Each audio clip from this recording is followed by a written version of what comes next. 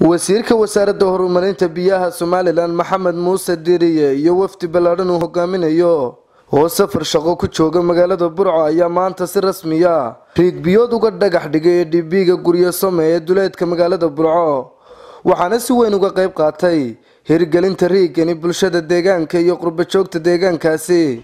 Ugu horeynba waxaa halkaasi ka hadlay waxaan u celinaynaa dowladiyada iyo dadka la socda ee noo dhisaya ama noo samaynaya ama noo taagaya riigga ilaahay waxaan idinka baryaynaa caafimaad iyo cimri iyo wanaagsan in ilaahay idinku waariyo dadaalkaa iyo aa ugu jirtaan dadka muslimiinta ee walaalihiina ee aa u dadaalaysaanna. Waxaan allah idinka baryayaa waxaan ilaahay idinka baryayaa miisaanka maalinta yoomalqiyaame xasanaadka in ilaahay kor idinku qaado dembiyadiinana ilaahay dhaaf. Aad iyo aad ayaan ugu faraxsanahay. Hawshan maanta inoo bilaabmaysa. Ceelkan maanta aynu wasiirku inoo dhagax dhigi doono. Geesta kale iyaguna waxaa halkaasi ka hadlay suduwaha wasaaradda biyaha maareeyaha wakaalada biyaha burco iyo xildhibaan afyare guddoomiye ku-xigeenka gobolka togdher iyo sidoo kale salaadiin waxgarad. Waxaan ku leenahay wasiir mar koowaad iyo mar labaadba soo dhowow.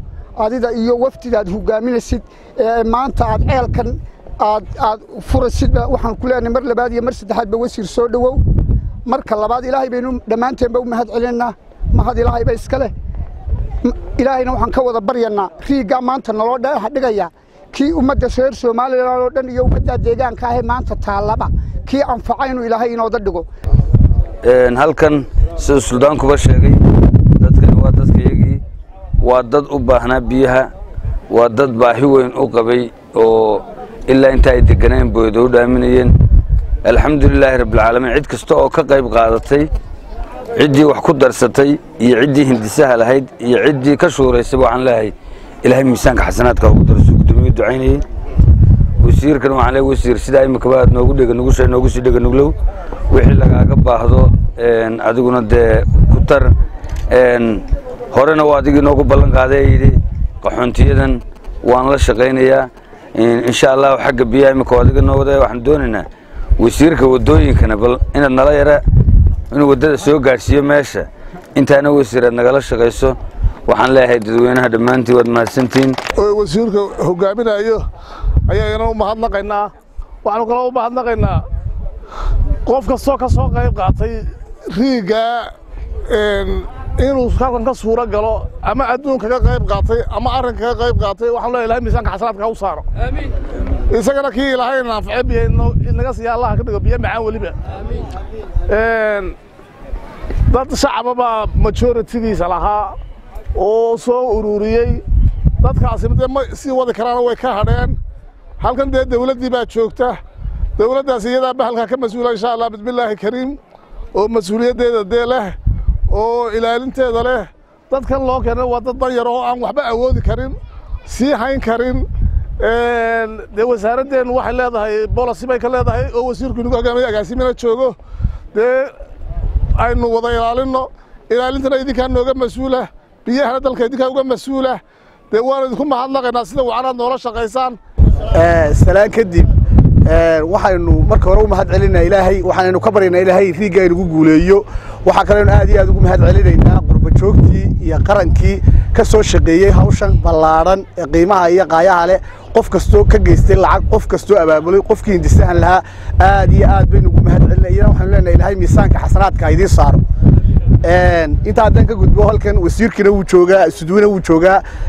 Maadaama xukuumaddii iyo marayaan qarankan jamhuuriyadda somalilan waxaa ka go'an oo wasiirku hogaaminaya biyaha in qaranku wada gaadho biyo ku filan oo macaan oo taya leh. Wasiirka oo runtii howlo badan oo kormeera ku jiray aawadeed miisaanka ay leedahay arrintani isagoo dareemaya yidhi waan ka qayb gelaya waan soo dhexdhigaya aad iyo aad iyo aad baynu ugu mahad celinaynaa ilaahay baa mahadleh allah inoo sakhiray innagoo nabadgelyo qabna caafimaad qabna inaan isugu nimaadno saaka halkan deegaanka guryasamo waxaan kaloo mahad celinayaa wasiirka wasaaradda horumarinta biyaha oo runtii isagoo howlo badan ee qaranka uu hayo iyo kormeero badan uu ku jiray ilaahay u sakhiray saaka inuu ka qayb qaato dhagaxdhigga ceelkan maanta halka laga binaynayo deegaanka guryasamo. Ugu dambeyntii waxaa halkaasi ka hadlay wasiirka wasaaradda horumarinta biyaha somalilan maxamed muuse diiriye.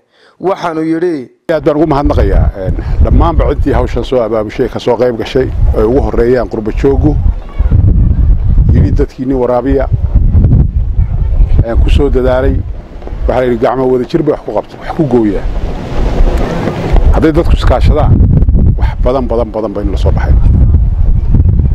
Oo aynu ku barri jooga iyo ku muxuu ahaa qolqoljoog iyo iyo qurba joog aynu isku kaashanno reer miyi iyo reer magaalo iskaashanno waxaan filayaa inaynu wax badan soo baxin halaynu niyadda gelin. Mar wax la sameeyaa markay nabadgeli jirto meelaan nabadgelya jirin biyana lala soo bixi maayo. Masaajidkaan la tegayn cidi dhisan mayso cidi dhaqan mayso cidi yaah waa maxamed suldaan telefishinka eryal burco.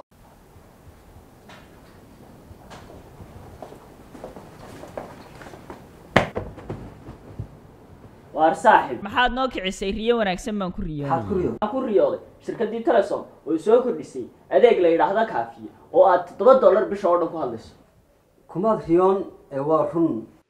Hadal. Oo hadal. Oo hadal. Oo ku hadal. Bishii oo dhan. Toddoba dollar. Oo keliya. Oo keliya. Oo keliya. Ku darso fariin kasta oo aad dirtaana waa kuu bilaash. Isticmaal shabakadda ugu ballaadhan geeyiga somalilan tayo. Waa telesom